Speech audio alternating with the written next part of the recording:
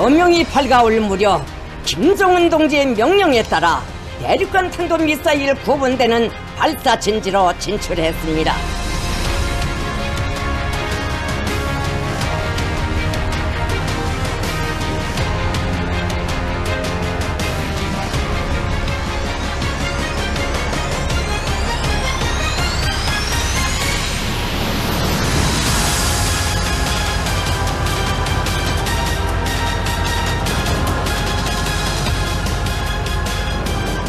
조국의 무궁한 번영과 인민의 안녕을 위하여 당의 전투 명령을 받은 미사일 병들 신성한 군기의 구호를 심장에 새겨 안고 당과 혁명이 부여한 성스러운 사명 앞에 언제나 충실한 일념 훈련의 나날에 다지고 다져온 모적의 전투력을 과시할 열망 가슴 가슴에 넘쳐납니다.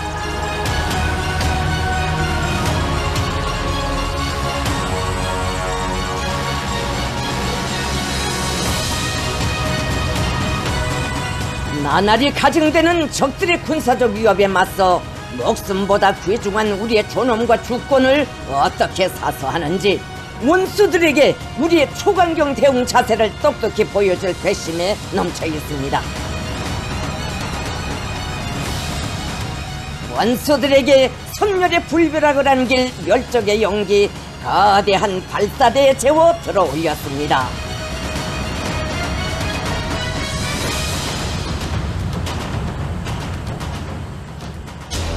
발사 준비 끝. 김정은 동지께서 중앙지휘 감시소에 오르시어 전략무기 발사를 승인하시자 미사일 총국장 장창하 대장이 제2 붉은기 중대 발사 명령을 하달했습니다. 제2 중대장 발사 승인되었다 발사할 것 전체 주의 아홉 여덟 일곱 여섯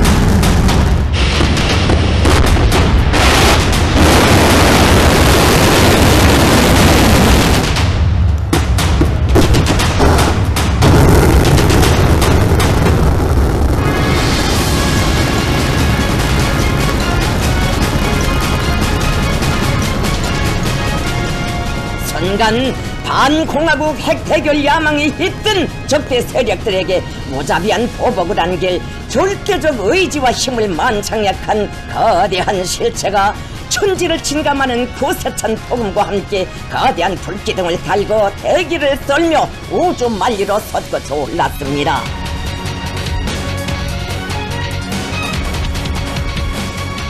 발사된 미사일은 최대 정점 고도 6,518.2km까지 상승하며 거리 1,002.3km를 4,415초간 비행하여 조선동해 공해상 목표 수역에 정확히 탄착됐습니다.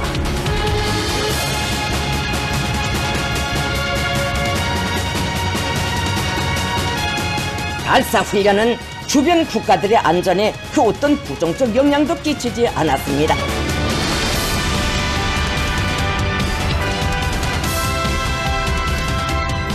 발사 훈련을 통하여 대륙간 탄도 미사일 부대의 전투력이 우수하게 평가되고 공화국 전략 무력의 신속 반응 태세와 우리 군사력의 가장 강력한 전략적 핵심 타격 수단에 대한 믿음성이 다시 한번 검증되게 됐습니다.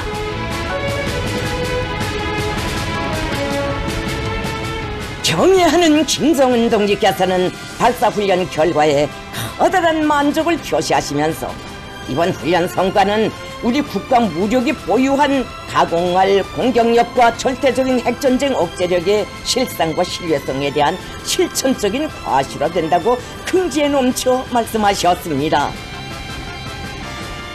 김성은 동지께서는 우리의 거듭되는 엄중한 경고와 규탄에도 불구하고 1년 내내 고취해온 무모한 반공화국 군사 대결 광기를 이 해 마감까지 광란적으로 극대화하고 있는 적대 세력들에게 명백한 신호를 보냈다고. 워싱턴이 우리를 상대로 잘못된 결심을 내릴 때에는 우리가 어떤 행동에 신속히 준비되어 있으며 어떤 선택을 할지를 뚜렷이 보여준 계기가 됐다고 하시면서 우리의 흔들림 없는 소강경 대응 의지와 절대적 힘을 다시금 똑똑히 시비했다고 평가하셨습니다. 김성은 동지께서는 미제와 추종 무리들의 악질적인 대결 야망은 저절로 수그러들지 않을 것이라고 하시면서 우리는 조선반도 지역의 평화와 안전의 근간을 흔드는 무모하고 무책임한 적들의 온갖 군사적 위협 행위들을 절대로 좌시하지 말아야 하며 적들이 계속 잘못된 선택을 이어갈 때에는 분명코 보다 친화되고 보다 위협적인 방식을 택하여 더더욱 공세적인 행동으로 강력하게 맞대응해야 한다고 말씀하셨습니다. 김성은 동지께서는 발사훈련을 참관하시고 공화국 핵 조약 무력을 가속적으로 강화 발전시켜 나가는 데서 나서는 중대한 몇 가지 과업들을 새롭게 제시하셨습니다.